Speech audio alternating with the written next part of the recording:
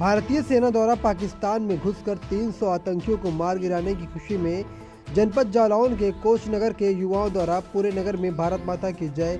वंदे मातरम, भारत जिंदाबाद। भारतीय सेना जिंदाबाद, पाकिस्तान मुर्दाबाद के नारे के साथ साथ मिठाइयाँ बांटकर गोले दागे गए और वहीं युवाओं ने इस सराहनीय कार्य के लिए भारतीय सेना को धन्यवाद कहा और बधाई दी और कहा कि पूरा देश भारतीय सेना के साथ खड़ा है।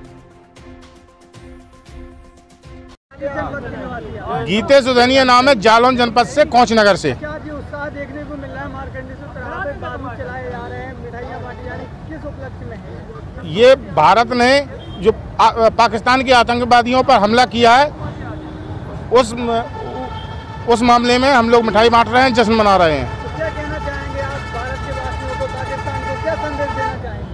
हम लोग ये कहना चाहेंगे कि अगर भारत की तरफ़ पाकिस्तान ने आँख उठाकर भी देखा तो अभी तो ये कुछ नहीं हुआ।